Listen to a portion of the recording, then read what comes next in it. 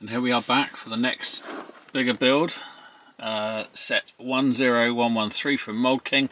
It's quite a new set launched. Uh, 1,471 pieces and it's the Nissan Skyline GTR R34. Probably one of my favourite Skylines. Um, so yeah, let's uh, dig into this box. As you can see, typical delivery. It's not the best of conditions. It was just literally polybagged up and posted out.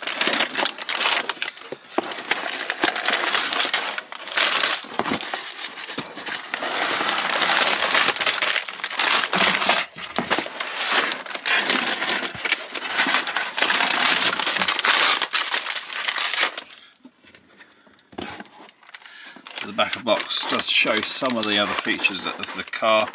Love the detail of this this rear. Not sure what's going on with that exhaust. That'd be interesting to sort out. Love the detailing of the engine there. Looks really good inside. Got some NOS canisters where the spare seat, will be, the passenger seat would normally be. And uh, opening boot. Yeah, looking forward to this one. Not sure I'll be applying all the stickers to it. I think they sort of take away some of the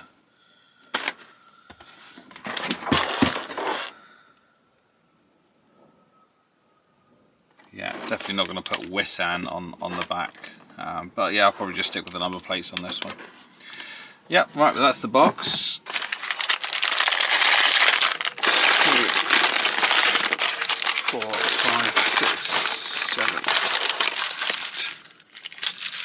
Nine packets and a decent sized manual with uh, really clear instructions as always from Mould King which is which is good to see so let's clear the table and we'll get this one built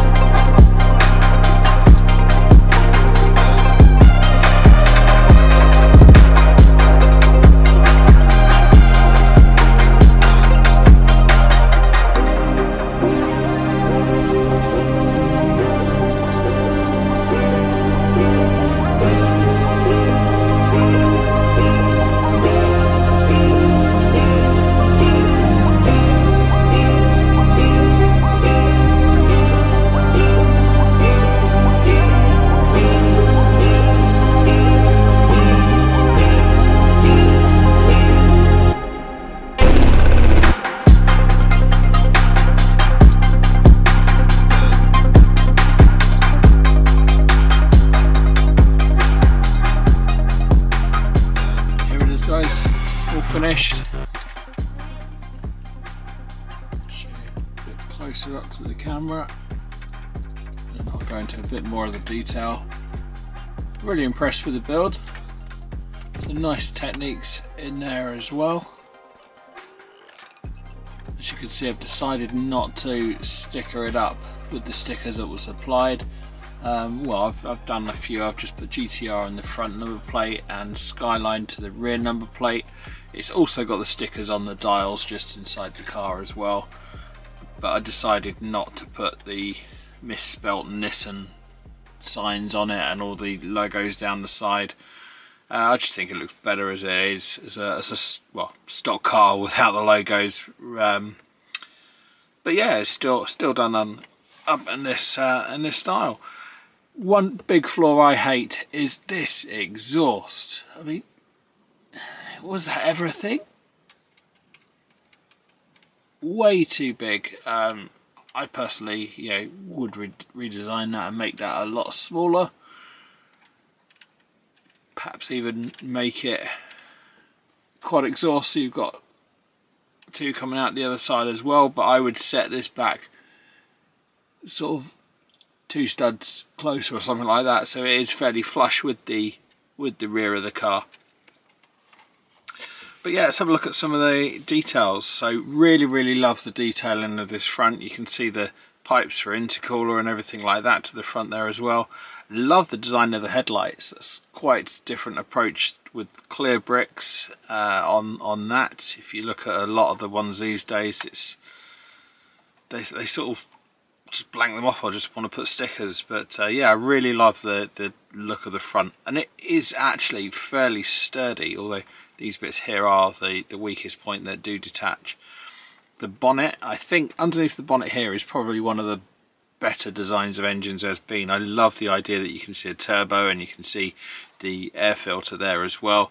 There's a little stay to prop that up so you can actually have the bonnet in an up position. But really, really impressed with the level of detail on the inside there. And again, the bonnet is nice and sturdy as well. But uh, yeah, so let's fold that down. Then we move to the inside. Doors open up as they should. Um, the one, as you can see previously, the Miura I built from Mould King, the doors fully flipped all the way back to the front wings. Uh, again, another really neat seat design. So this is quite a quite nice racing sort of design of seat, and the the way they've used the red sort of Lego tool part as racing seatbelts. So you can just see that. I think it's a really nice detail and, and works really really well in there.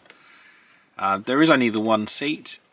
If you go to the other side I'll just open that door up. You can see there are two nitrous bottles just in there as well.